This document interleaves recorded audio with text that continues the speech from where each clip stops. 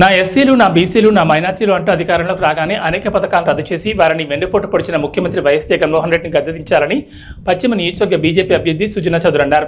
Milk project function హాల్లో దళిత గిరిజన బహుజనుల ఆత్మీయ సమావేశం నిర్వహించారు. ఈ కార్యక్రమానికి ముఖ్య అతిథిగా హాజరైన సుజనా చౌదరి మాట్లాడారు. ఒకసారి మనం సమాజంలోకి వచ్చినాక బయటకు వచ్చినాక మానవత్వం మానవత్వ దృక్పథంతో మానవత్వం చూపించాలి. తోటి మనుషులందరికీ కూడా. అదే నా కులం మానవత్వే నా కులం.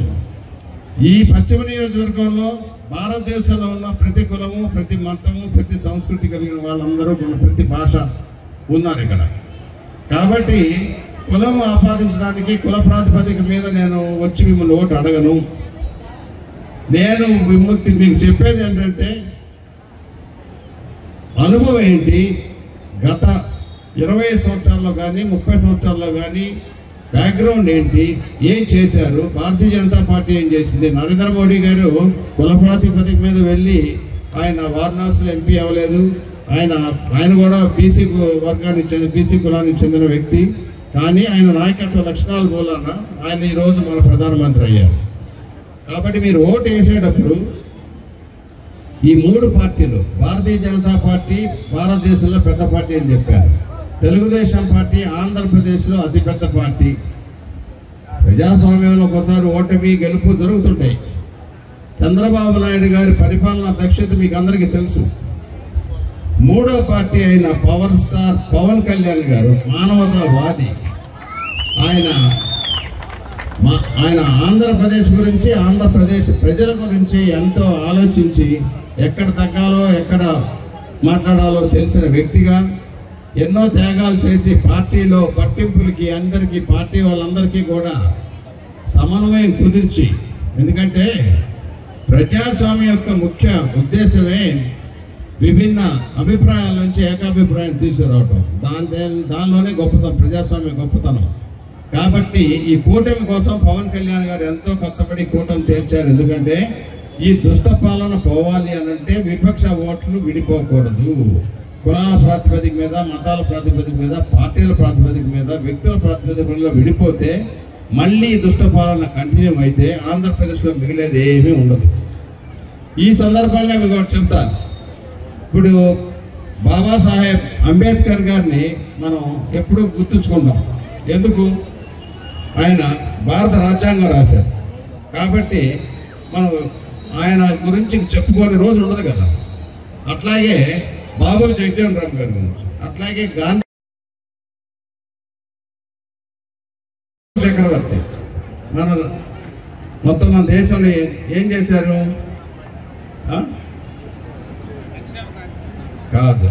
ఆయన ప్రజల హితం కోరి ప్రజలకి ఎండ తగ్గకూడదని మొక్కలు నాటించాడు. భావి తరానికి వందల సంవత్సరాలు చెట్లు అయితే చెట్ల కింద పాఠశాలకు ఆ రోజులు నడిచెళ్ళేవారు కాబట్టి చెప్పుకోవడానికి అనేక ఉన్నాయి. కానీ మొన్న జరిగిన ఇప్పుడు ఐదు సంవత్సరాల నుంచి ఉన్న ముఖ్యమంత్రి గారు కానీ ఈ నియోజకవర్గంలో మీరు గెలిపించిన ఎమ్మెల్యే గారు కానీ ఏదైనా ఒకటన్నా ఉన్న మంచి పని ఇది మాకు చేశారు ఒక వర్గానికి. కుల మతాలకు అతీతంగా అన్ని వర్గాలకి నష్టమే చేశారు. ఏ ఒక్కటి కనపట్లేదు నేను నెల రోజుల నుంచి తిరుగుతుంటే వెతికి వెతికి భూతత్వం పెట్టి అడుగుతున్న అందరినీ. ఏదైనా ఒక్కటి చెప్పండి మీ ఎమ్మెల్యే గారు మాజీ మంత్రి గారు చేసింది. లేకపోతే మీ ముఖ్యమంత్రి గారు చేసిందని అడిగితే ప్రజలు చైతన్యవంతులు. పశ్చిమ నియోజకవర్గంలో ఎక్కువ శాతం ఎస్సీ ఎస్టీ క్రిస్టియన్ సోదరులు ఉన్నారు. నాకైతే మాత్రం ఒక్కరు కూడా సమాధానం చెప్పలేకపోయారు. దాన్ని బట్టి మీరు అర్థం చేసుకోవాలి. మార్పు రావాలి మార్పు రావాలి అని ప్రతి ఒక్క వ్యక్తి కోరుకుంటున్నారు.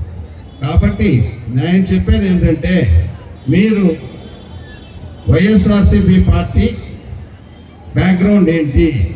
వాళ్ళ ఐదు సంవత్సరాల్లో ప్రజలు అవకాశం ఇస్తే వాళ్ళు వెలగబెట్టింది ఏమిటి? చూడండి. ఈ కూటమి అంటే ఇప్పుడు మనం పెళ్ళిని చేయాలా ఏడు తరాలు చూడాలంటారు. ఈ కూటమి యొక్క స్ట్రెంగ్త్ ఏమిటి? బలం ఏమిటి? చూడండి. తర్వాత వ్యక్తులు. నేను ఇక్కడ ఎమ్మెల్యేగా కంటెస్ట్ చేస్తున్నాను. నా బ్యాక్గ్రౌండ్ ఏంటి? నా ప్రత్యర్థి బ్యాక్గ్రౌండ్ ఏంటి? వారిని కూడా కార్పొరేటర్గా చేశారు. కనీసం కార్పొరేటర్గా ఆ- డివిజన్లు డివిజన్లో ఏమైనా చేశారా కూడా చూసుకోండి మీరు. చేయగల కెపాసిటీ ఉందా చూసుకోండి. ఇవన్నీ చూసి మీకు మనసాక్షిగా ఎవరికి ఓటేయాలంటే అది వాళ్ళకే ఓటేయండి. మేము అడగడం ధర్మం. సైకిల్కి కమలానికి ఓటేయండి. కేసునే చిన్ని గారికి నాకు. కానీ ఓటు హక్కును మాత్రం నేను మీరు పొద్దున్నే ఆరు గంటలకల్లి లైన్లో నిలబడి పది గంటల లోపల ఓటు పర్సంటేజ్ పెంచాలి. అప్పుడే మీ మనసులో నుంచి మీ యొక్క భావాలు బయటకు వస్తాయి. ఇకపోతే మన పశ్చిమ నియోజకవర్గం ఉన్న దుర్భర పరిస్థితులు చూస్తే బాధ కలిగిందని చెప్పాను నేను. దానికి బాధ కలిగితే ఉపయోగం ఏంటి? సమస్యలకి సమాధానాలు ఉండాలి. నా నేను ఒక ప్రణాళిక చేశా ఇరవై రెండు డివిజన్స్కి. కొండ ప్రాంతం వాళ్ళకి ఏమిటి? కొండ ప్రాంతం వాళ్ళకి అంబులెన్సు. కూడా వెళ్ళే మార్గం లేదు చాలా చోట్లకి ఫైర్ ఇంజన్ వెళ్ళే మార్గం లేదు. లైట్లు లేవు. కొన్ని ఆల్రెడీ ఎక్స్పెరిమెంట్గా లైట్లు ఏదో కొంతమంది పెడతామంటే పెట్టమని చెప్పారు కొంతమంది. అన్నిటికంటే ఎక్కువ విద్యా సౌకర్యాలు లేవు. మీకు ఎవరు కూడా గైడ్ చేసేవాళ్ళు లేరు. హ్యాండ్ హోల్డ్ చేసేవాళ్ళు లేరు. కౌన్సిలింగ్ చేయాలి మీకు.